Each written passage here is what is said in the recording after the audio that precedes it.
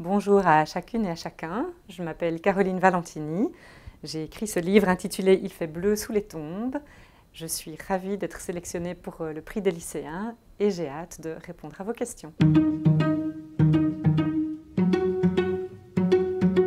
Y a-t-il eu un élément déclencheur au début de votre carrière d'écrivain?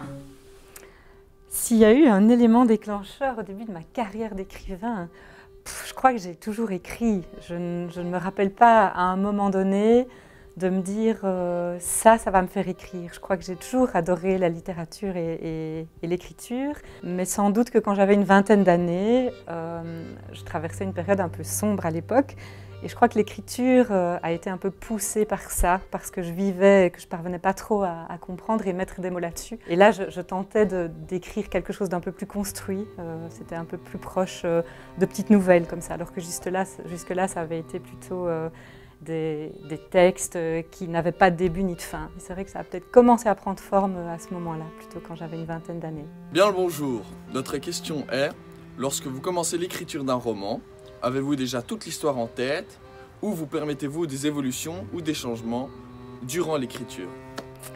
Merci Virgile, c'est une super bonne question que je continue de me poser à chaque fois que j'essaye de travailler sur un projet. C'est-à-dire que hum, j'avais en tête, avant d'écrire en tout cas ce roman-ci, qu'il fallait avoir euh, un scénario reconstruit.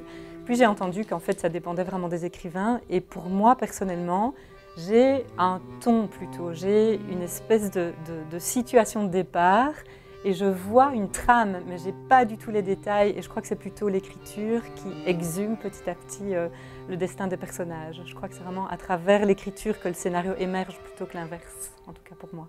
Bonjour, la question que j'aimerais vous poser est la suivante. Comment faites-vous pour rentrer dans la peau d'un personnage? Ça, je trouve que justement, c'est là toute l'aventure, en fait. C'est ça qui, qui me plaît énormément, c'est d'essayer de tenter de percevoir le monde avec les yeux de ce personnage dont je connais un petit peu de choses, puisque forcément il sort de mon imaginaire, mais dont je ne connais pas tout. Petit à petit, euh, certains personnages acquièrent un genre d'autonomie. Je les lance, et puis parfois ils me font découvrir des choses que je n'avais pas prévues à leur sujet.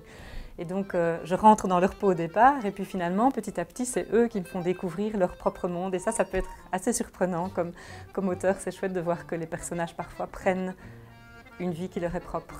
Avez-vous un rituel d'écriture, des horaires particuliers, un endroit préféré pour écrire? Je me dis parfois que je devrais un peu plus m'astreindre à, à, une routine, à quelque chose qui fait... Parce que je crois qu'on écrit plus, en fait, euh, alors ça ne veut pas dire qu'on écrit mieux, mais peut-être que quand on se fixe ça, je sais bien Camille Noton écrit tous les jours de 4h du matin à 8h du matin.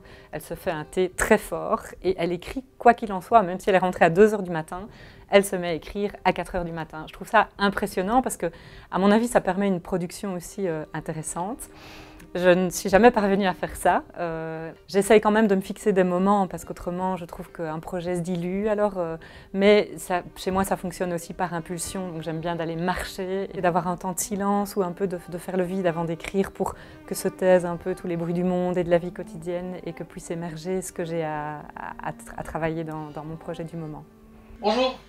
Qu'est-ce que vous aimez le plus dans votre métier d'écrivain?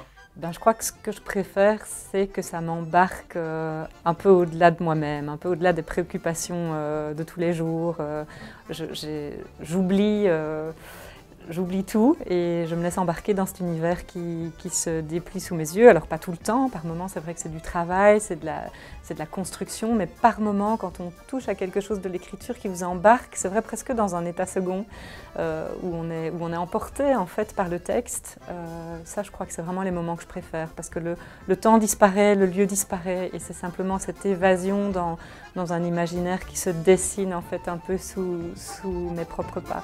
Et ça c'est très très chouette.